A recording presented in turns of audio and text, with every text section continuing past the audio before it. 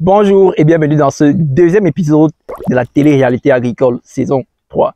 Saison dans laquelle nous vous montrons comment valoriser un bas-fond ou alors un marécage grâce à la culture de la canne à sucre et peut-être aussi grâce à l'installation, n'est-ce pas, d'un étang piscicole. Alors qui dit deuxième épisode implique qu'il existe, n'est-ce pas, un premier épisode que je vous invite à aller regarder sur la chaîne.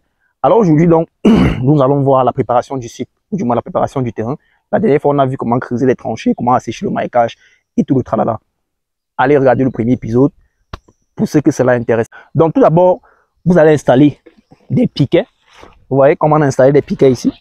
Donc vous allez installer des piquets comme ceci, avec un écartement de 80 cm. Par la suite donc, nous allons creuser, nous allons creuser des sillons. Vous voyez, puisque là nous sommes sur des petits blocs d'environ euh, euh, d'environ 4 mètres, j'ai pas besoin de tendre la ficelle. Vous voyez, d'ici à là-bas, je peux facilement faire un sillon droit sans toutefois avoir besoin de tendre la ficelle. Donc là, je vais donc faire un sillon dans le sol. Alors les anciennes souches de canne à sucre comme ça, il faut les retirer et les jeter. Parce que la canne à sucre a une durée de vie. Ok, après un certain temps, il faut renouveler. Donc là, j'ai fait mon sillon comme ça.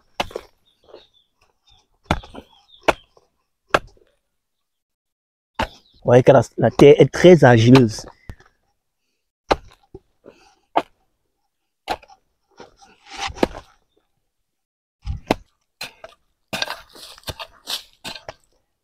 Voilà, très bien. La confection, n'est-ce pas, du moins la matérialisation de nos sillons est terminée. Voilà, vous voyez. Donc là, on a réalisé quatre sillons. Bien, voilà, c'est tout pour ce deuxième épisode, n'est-ce pas, dans lequel nous vous parlions de la préparation de votre terrain. Vous voyez que la préparation du terrain pour euh, le planting de la canne à sucre est assez simple. Cela démontre déjà à quel point, n'est-ce pas, la mise sur pied et la conduite même de cette culture sera tout aussi simple. Mais avant de clôturer ce deuxième épisode, n'oubliez pas que tout récemment, nous avons mis sur pied une entreprise dénommée MBAP entreprise qui fait dans la production et la distribution de la viande de poulet dans la ville de Yaoundé. Alors, si jamais vous êtes un restaurateur, si jamais vous avez une cérémonie même, ok, et que vous avez besoin de poulet bio, frais et surtout 100% halal, contactez-nous.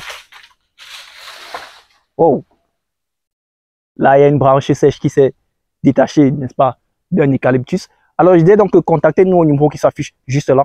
Question d'entrer en possession de votre poulet bio, frais et surtout 100% halal dans les plus brefs délais. Et le tout à des prix battant toute concurrence. Sur ce, je vous donne rendez-vous au troisième épisode dans lequel nous allons voir le sémi. Et dans ce troisième épisode-là, nous verrons principalement deux techniques de sémi. Je ne vous en dis pas plus. Ciao la famille